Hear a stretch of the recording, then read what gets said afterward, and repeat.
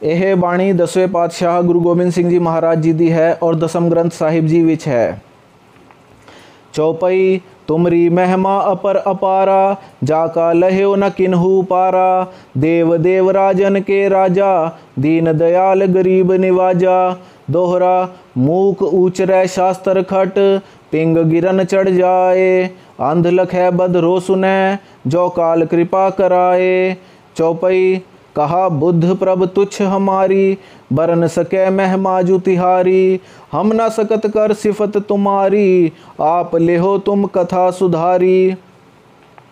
कहा, लगे एहो कीट बखाने, महमा तोर तू ही प्रभ जाने। पिता जन्म जिम पूत न पावे, कहा, तवन का भेद बतावे।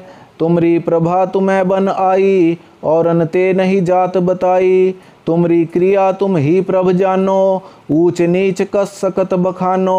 शेष नाग सिर सहस बनाई द्वै सहंस रसनाहा सुहाई। रटत अब लगे नाम अपारा तुम रोतऊ न पावत पारा। तुमरी क्रिया कहा को कह, समझत बात उरज मत रहे। सूक्ष्म रूप न बरना जाई, बिरध स्वरूप है कहो बनाई। तुमरी प्रेम भगत जब गह हो, छोर कथा सब ही तब कह हो। अब मैं कहो सु अपनी कथा, सोढ़ी वंश उपजया जथा। दोहरा प्रथम कथा संक्षेप ते कहु सुहित चितलाए बहुर बडो विस्तार कह कह हो सबो सुनाए। चौपई, प्रथम काल जब करा पसारा, ओ अंकार ते सृष्ट उपारा। काल सैन प्रथम भयो भूपा, अधिक अतुल बल रूप अनुपा। काल केत दूसर भुए भयो, क्रूर बरस तीसर जग ठयो।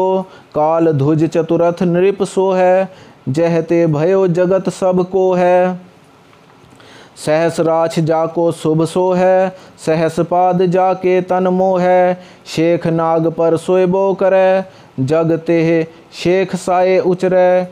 एक श्रवण ते मैल निकारा ताते मध की टभ तन धारा।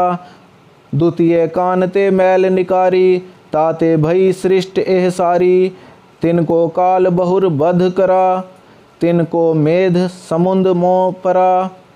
चिकन तास जल पर तिर रही, मेधा नाम तब है ते कही। साध कर्म जे पुरख कमावे, नाम देवता जगत कहावे। कुकृत कर्म जे जग में करही, नाम असुर तिन को सब धरही। बहु बिथार कह लगे बखानियत, ग्रंथ बढ़न ते अत डर मानियत। तिन ते होत बहुत नृप आए, दक्ष प्रजापति जिन उपजाए।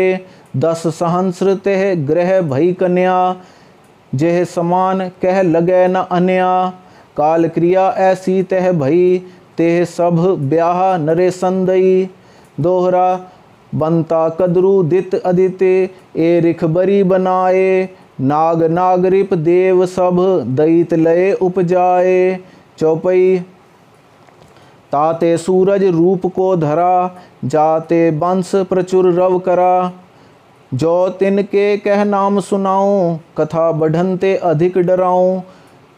तिन के वंश बिखै रघु भयो रघुवंश है जेह जगह चलियो।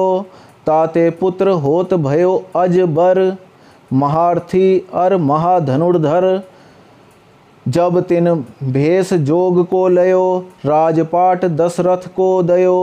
होत भयो वह महाधनुर्धर, तीन त्रियान बरा जेह रुच कर। प्रथम जयो तेह राम कुमारा। भरत लक्ष्मण सत्र बिदारा।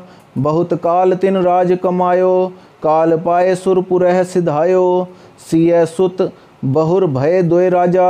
राजपाट उन्हीं को छाजा। मदर देश ऐश्वरज बरी जब। भांत भांत के जग किए तब। तही तिनय बांधे द्वय पुरवा। एक कसूर द्वितीय लहुरवा। अधिक पुरी ते दो बिराजी, निरख लंक अमरावत लाजी। बहुत काल तिन राज कमायो, जाल काल ते अंत फसायो। तिनके पुत्र पौत्र जे वये, राज करत एह जग को भय। कहाँ लगे ते बरन सुनाऊं, तिनके नाम न संख्या पाऊँ। होत चहूँ जुग में जेह आए, तिनके नाम न जात गनाए। जो अब तो कृपा बल पाऊँ, नाम जथा मत भाग सुनाऊँ। काल केत अर काल राय भन, जिनते भय पुत्र घर अनगन। काल केत भयो बलि अपारा, काल राय जिन नगर निकारा। भाज सनौढ़ देश ते गए, तही भूप जा ब्याहत भय। तेह ते पुत्र भयो जो धामा, सोढ़ी राय धरा तेह नामा। वंश सनोढ़ ता दिन ते थिया परम पवित्र पुरख जू किया, ताते पुत्र पौत्र होए आए, ते सोढ़ी सब जगत कहाए। जग में अधिक सुभय प्रसिद्धा दिन दिन तिन के धन की वृद्धा। राज करत भय विविध प्रकारा देश देश के जीत निरपारा। जहाँ तहाँ तेह धर्म चलायो अत्र पत्र कह शीस ढुरायो। राज सुय बहु बारन किए जीत जीत देशेश्वर लिए। बाज मेध बहु बारन करे, सकल कलूख निज कुल के हरे। बहुत वंश में बढ़ो बिखादा, मेट न सका को तह साधा। बिचरे वीर बनैत अखंडल, गह गह चले भिरन रन मंडल। धन अर भूम पुरातन बैरा, जिनका मुआ करत जग घेरा। मोहबाद अहंकार पसारा, काम क्रोध जीता, जग सारा, दोहरा, धन धन धन के भाखी भाखिय जाका जगत गुलाम, सब निरखत या को फिर सब चल करत सलाम। चौपई, काल न को करन सुमारा बैरबाद अहंकार पसारा। लोभ मूल, एह जग को हुआ, जासो चाहत सभय को मुआ।